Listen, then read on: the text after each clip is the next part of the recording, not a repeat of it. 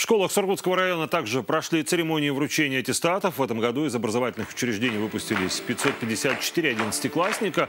У ребят совсем скоро начнется период вступительных экзаменов. Выпускной – это последняя возможность попрощаться со школой, учителями и одноклассниками. С 2024 в силу вступили изменения, которые коснулись получения медалей за особые успехи в учении. Теперь аттестаты о среднем общем образовании с отличием не только красного, но и сине-голубого цветов. Каждый из них, конечно же, запомнит именно последний день свой окончания школы, ну, как особенный. А, вообще, а, год, конечно же, конечно же, другой, потому что, во-первых, у нас в этом году а, появились медали первой степени и второй степени.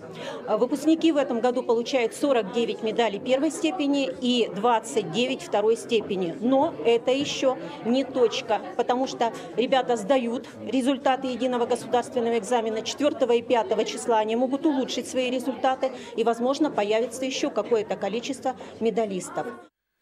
Благодаря цифровизации образования в Сургутском районе организована равноправная система получения знаний. Обучающиеся из отдаленных поселений также могут осваивать дополнительные программы не только под руководством учителей, но и самостоятельно на специализированных платформах. Как отмечает представитель Департамента образования муниципалитета, у нового поколения выпускников много амбиций и большое желание поступить на бюджетные места в высшее учебное заведение не только Югры, но и элитного российского уровня. Благодаря этому, отметили в мэрии территории Сургутского района результаты единого государственного экзамена стали лучше.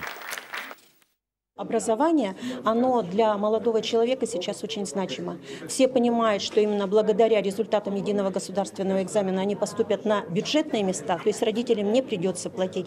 И в связи с тем, что ребята выстраивают свою образовательную траекторию и понимают, что они хотят. Поэтому на самом деле новое наше поколение, оно продуманное. Ребята на самом деле хотят, хотят именно получить хорошее образование, потому что так они будут конкурентоспособны потом на рынке труда.